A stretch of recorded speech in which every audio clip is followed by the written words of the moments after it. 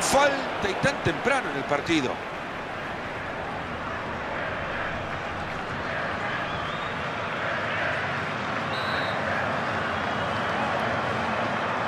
Y lo va a cobrar.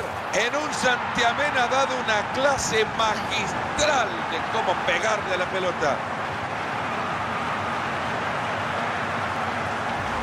De esos goles que quedan guardados en la retina de los hinchas. No es de extrañar, le pega como los dioses. Le ha pegado de forma maravillosa. Otra perspectiva para disfrutar de ese gol.